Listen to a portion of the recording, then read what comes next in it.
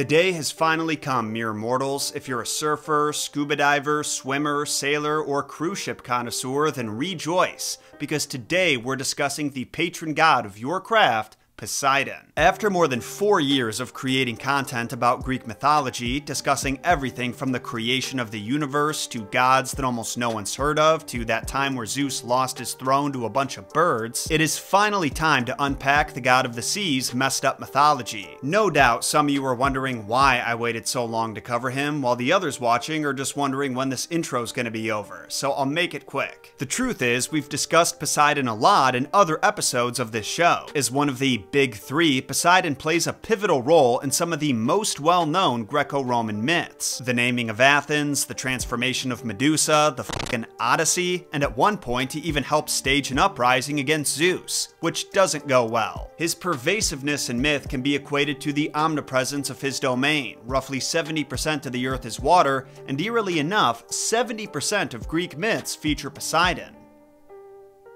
Not really, but wouldn't that be insane? He is in quite a few though, many of which we've discussed, so I've never felt any urgency to cover him because I always felt that anyone who watched our show already knew all the major stuff about him. But boy was I wrong. I gotta tell you, Zeus gets a lot of flack for being an adulterous horn dog, but Poseidon's body count gives him a serious run for his money. I mean, the dude had over 100 mortal children with different women. That's not even counting his divine offspring or the animals he sired. Suffice to say, this episode is going to get weirder than any of you expected, and the way that you think of Poseidon could be changed forever. First, though, I do want to say thanks to the friends who funded all the work that went into this episode, our sponsor, Cook Unity. I love cooking, but as someone who works a minimum of 60 hours a week, I just don't always have the half hour or hour of free time required to prepare a quality meal. That being said, I also don't want to sacrifice my health just because a gummy worm smoothie is more convenient than a steak, which is why I'm so glad I found Cook Unity. There are a ton of food delivery services and meal kit subscriptions out there, but what makes Cook Unity special is they're the first ever chef to consumer platform. A team of more than 50 chefs from some of of the best restaurants in the country bring their signature dishes to your table every week. Here's how it works. When you sign up, you list the foods you like or don't and pick how many meals you want in a week. Then you choose from a curated list of hundreds of meals that's constantly having new options added to it. My wife and I had a diverse lineup from Mom's Sunday Sauce Rigatoni by New York chef John DeLucie to chicken teriyaki with charred broccolini by Chef Esther Choi in Brooklyn. No exaggeration, it was all delicious, and as someone who's experimented with other food delivery services in the past, you can really taste the difference in quality. Because instead of your food being prepared in a mega warehouse production facility before it's sent out, Cook Unity chefs cook meals in a micro kitchen using real ingredients,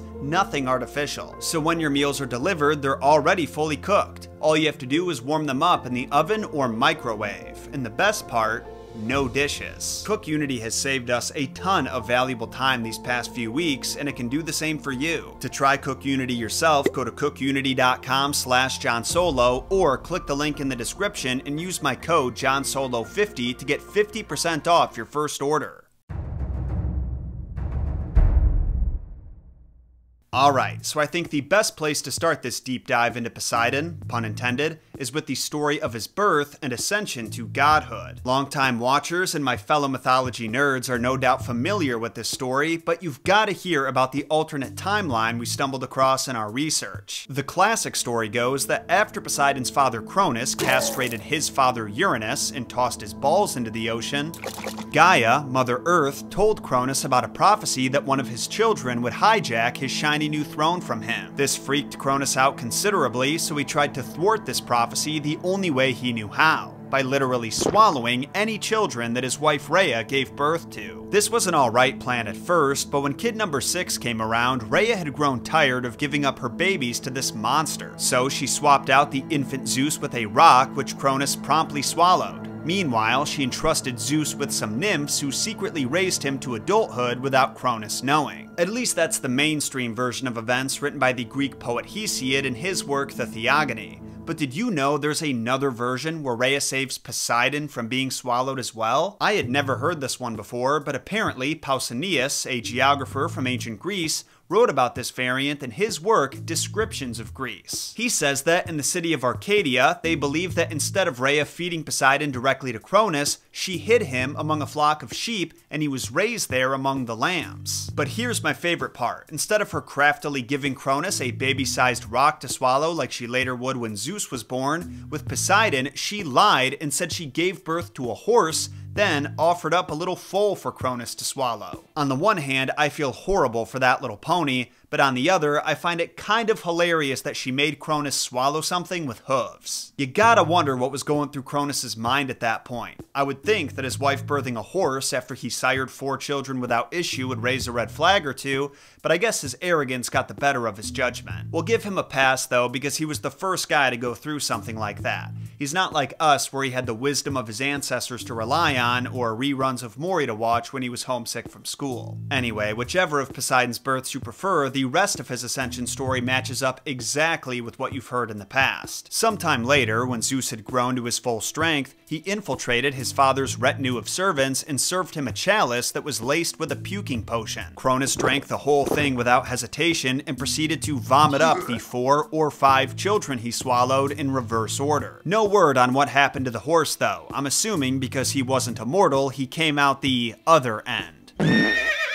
After the second birth of Hestia, Demeter, Hera, and Hades, they joined forces with Poseidon and Zeus to bring an end to the reign of the Titans. But make no mistake, even with their powers combined, this was no easy feat. In fact, Zeus had to recruit his uncles, Cronus' brothers, the Cyclopes, to lend their blacksmithing skills to the war effort, which is how he, Hades, and Poseidon ended up with their iconic weapons, the Thunderbolt, the Invisibility Helm, and of course, the Trident, meant to represent the three-pronged fisherman spear. For the next 10 years, the reborn Olympians and Titans waged war for control of the cosmos. Everyone involved shed blood, sweat, tears, and ambrosia, but in the end, the Olympians came out on top. And to punish the Titans for their wicked ways, they were cast down into Tartarus. Meanwhile, Zeus and his brothers drew lots to decide their respective domains. Zeus wound up with the sky, Hades with the underworld, and Poseidon became god of the sea. But what exactly does that mean, God of the Sea? Is he just an Aquaman who receives sacrifices, or is there more to it than that?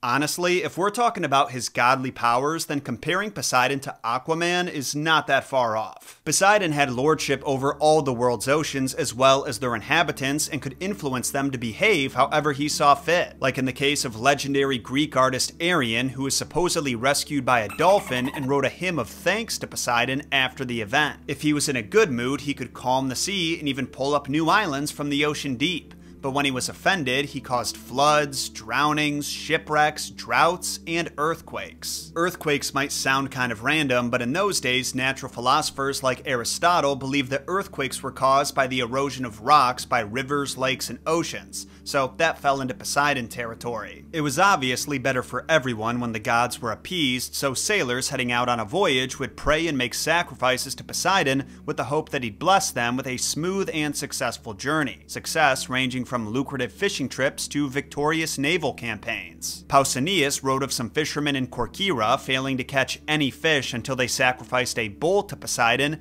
and there's written record of Alexander the Great pausing at the Syrian seashore before the Battle of Issus to invoke Poseidon the sea god, for whom he ordered a four-horse chariot be cast into the waves. With such an all-encompassing domain, it probably won't surprise you to hear that sacrifices like these took place throughout all of Greece. Temples and shrines to Poseidon have been found in a number of major cities, but like any god, he did have a primary center of worship, the city of Corinth.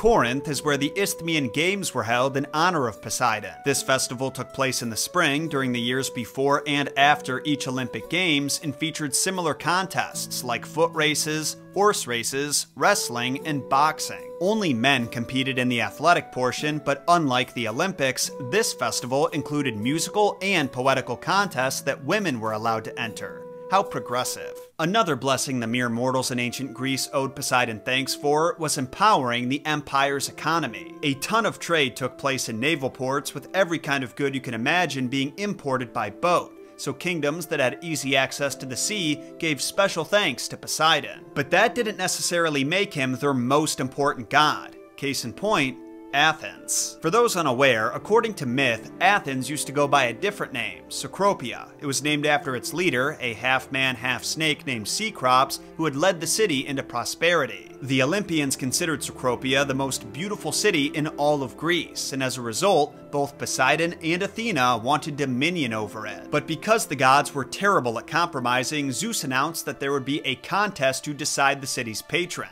Poseidon and Athena would each bless Cecropia with a gift, and whoever's gift the Cecropians found more beneficial would be declared the victor. Depending on the version, Poseidon's gift could be one of two things. In one variant, he gave them a horse, an animal that was sacred to him on account of the foal that sacrificed its life so he could avoid being eaten by his father. The other variant, which by my estimation is a lot more popular, states that Poseidon struck the earth with the points of his trident, causing a stream of salt water to enter the city. Just like that, Cecropia's real estate value went way up.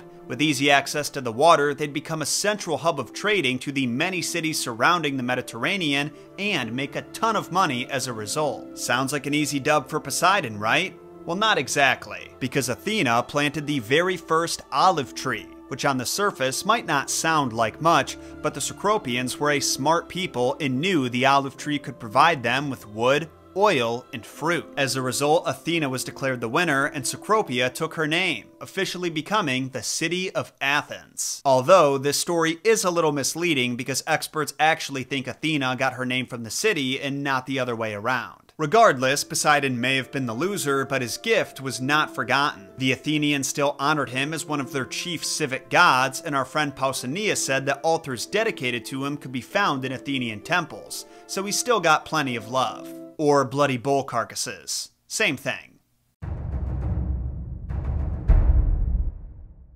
One cannot talk about Poseidon without mentioning the Iliad and the Odyssey. Your boy plays a notable role in both. If you saw my recent episode about the times where Zeus almost lost his crown, then you'll remember there was one occasion where Hera rallied together some of her fellow Olympians to try and take down the big man. In Book 1 of the Iliad, there's a line that references this event, which doesn't go well. Hera, Poseidon, Athena, and Apollo had tried to put Zeus in chains while he was asleep, but one of his attendants, Thetis, alerted his buddies, the Hecatoncheires, about what was going down. When the Olympians heard the stomps of the Hecatoncheires approaching, they all dropped the chains and ran in different directions, but unfortunately Zeus caught them all and punished them. Well, not Athena, she was his favorite. But his wife? He threw Hera in the same chains that she had tried to trap him in, chained anvils to her feet, and suspended her from the heavens, forcing her to stare into the chaotic void filled with horrors even their immortal brains couldn't comprehend. As for Poseidon and Apollo, their sentence wasn't as intense, but it wasn't fun either. They were consigned to living for a year as powerless mortals in the indentured servitude of King Laomedon, who is, for lack of a better term, a total goofbag. Check this out. Laomedon enlists mortal Apollo and mortal Poseidon to help him build the walls of Troy, and over the next year, they did. But when they went to the king to collect their payment, he told them the walls weren't that nice anyway, and they should have just done it for the exposure. Oh, and he also said he'd cut off their hands and feet and sell them into slavery if they ever brought up the payment again. But I can't think of a more worthless slave than one who's just had his hands and feet cut off. Illogical threats aside, Laomedon didn't realize he was speaking with two of the most powerful, vengeance loving gods in the entire pantheon, and they were eager to use the powers they had just gotten back. So, after leaving the city, Apollo shot a single arrow laced with disease over its walls, and soon enough, Trojan citizens, soldiers, and statesmen were dropping dead left and right. The small percentage of people with healthy immune systems weren't any better off, though. Poseidon had sent a sea monster to devour anyone looking too happy with their lives. This dispute with the Trojans is why Poseidon would later side with the Greeks during the Trojan War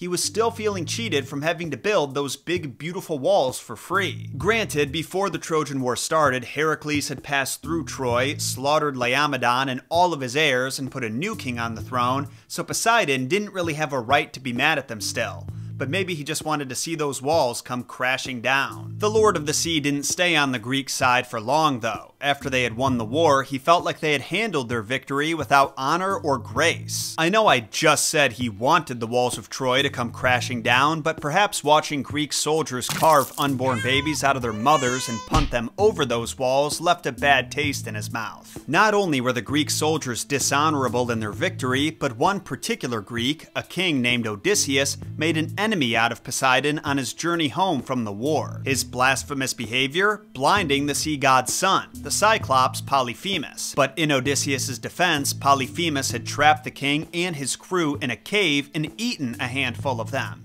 so Odysseus was simply acting out of self preservation. Poseidon didn't care about that though. He punished Odysseus by throwing every possible danger into his path, and by the time the king finally made it home, his entire crew had perished and 10 years had passed since the war's end. Poseidon's relationship with the kings of Greece is obviously a strained one, but if you thought his treatments of Laomedon and Odysseus were harsh, just listen to what he did to his nephew, King Minos. Then leave a comment telling me if you think he deserved it or not. Some context, Minos was one of the three sons of Zeus and Europa, and all three of them were adopted and raised by Asterion.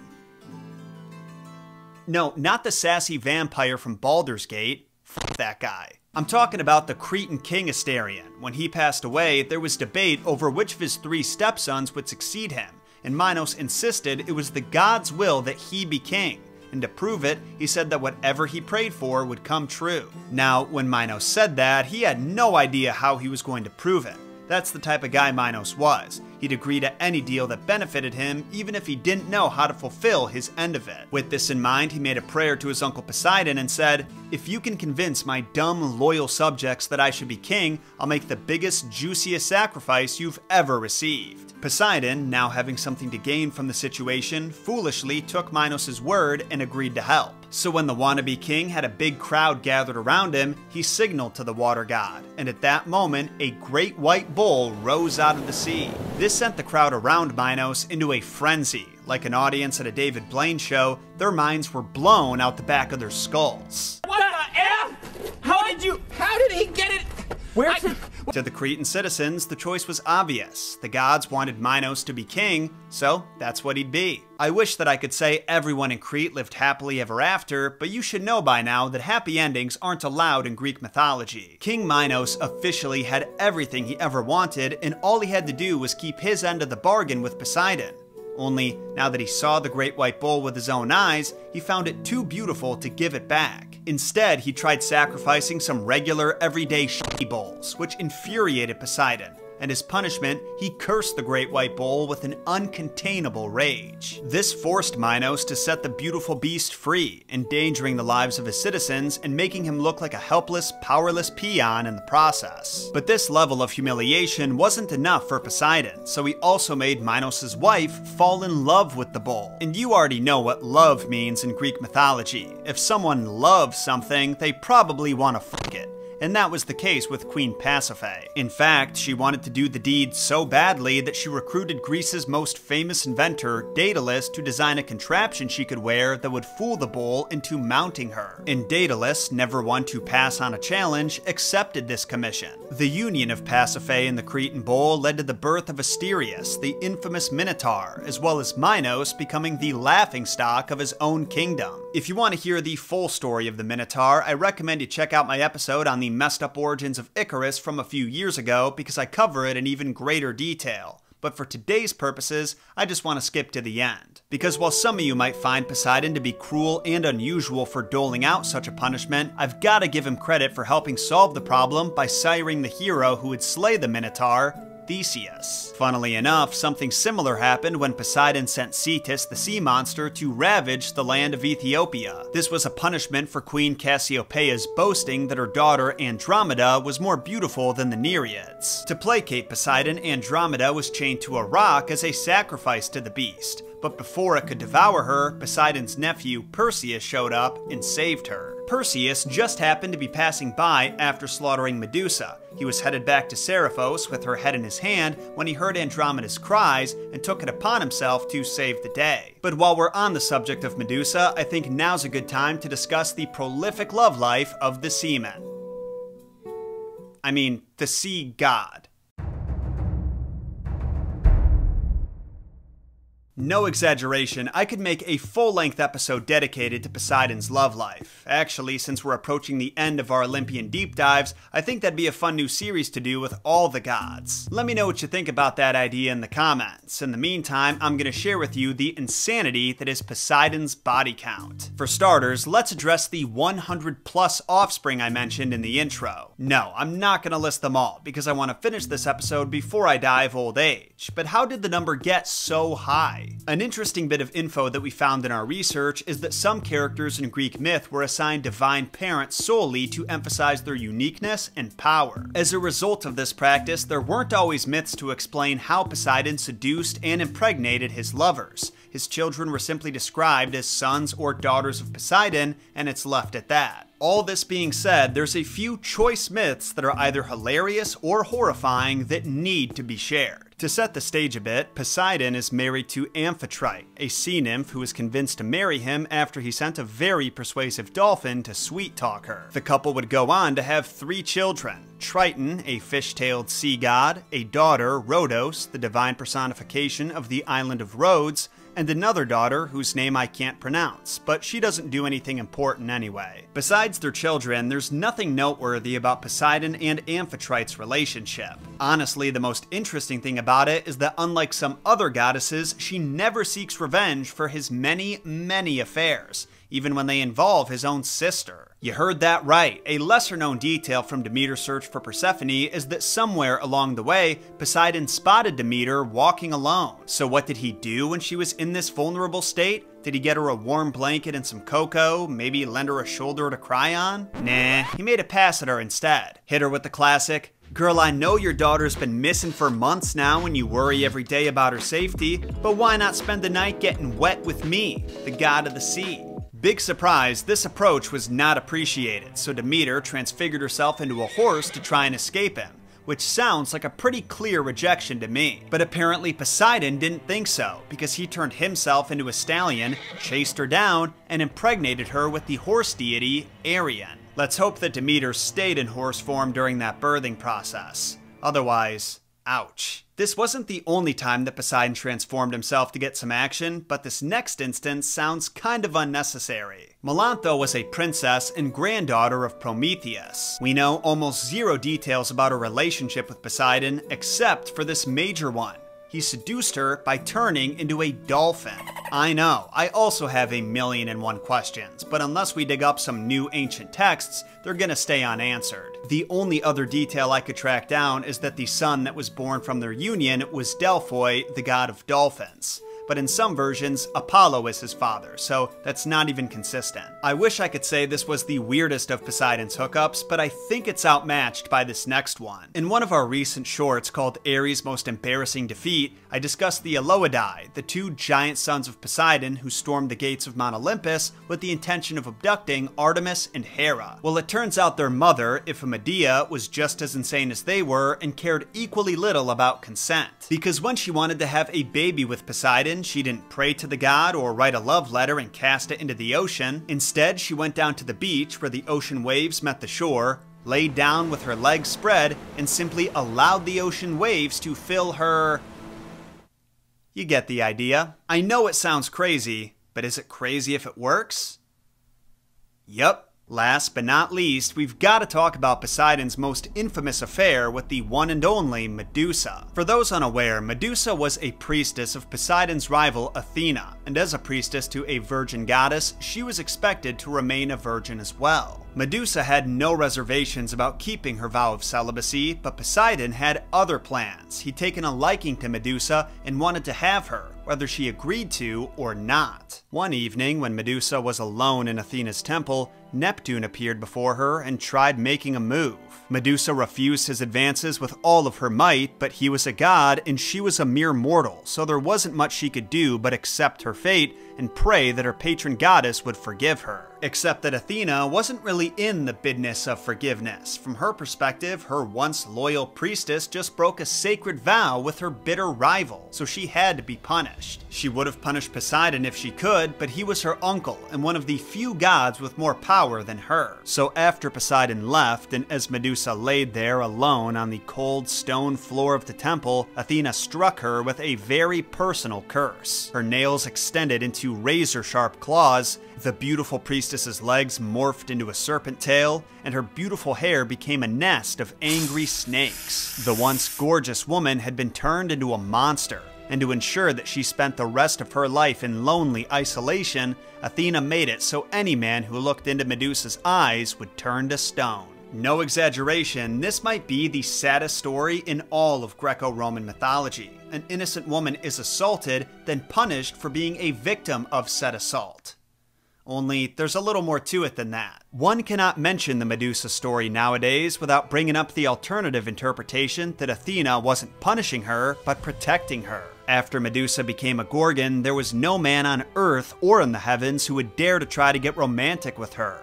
And if for some reason they did, she now had the power to defend herself. It's a promising theory that makes the story a little less painful to listen to, but you want to know what makes it a lot less painful? The fact that, according to the Greeks, the whole Poseidon rip thing didn't even happen. To the ancient Greeks, Medusa was always a monster.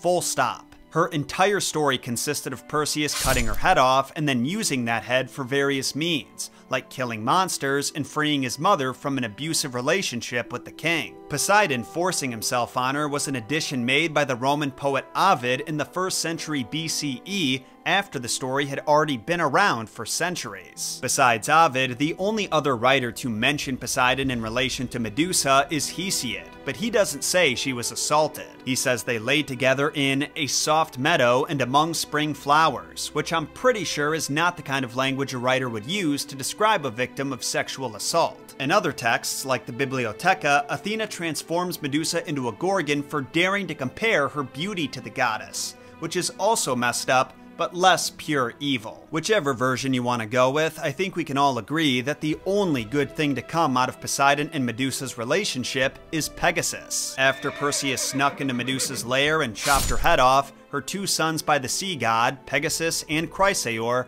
burst out of her neck. Popular culture would have you believe that Perseus then hopped on the back of Pegasus and rode him around Greece, but this was actually a change made by artists living in the classical period and became commonplace by the Middle Ages. In actuality, the real tamer of Pegasus was Poseidon's other son, Bellerophon, but that's a topic for another day. As for the Lord of the Sea, that's just about everything you could possibly know about his mythology.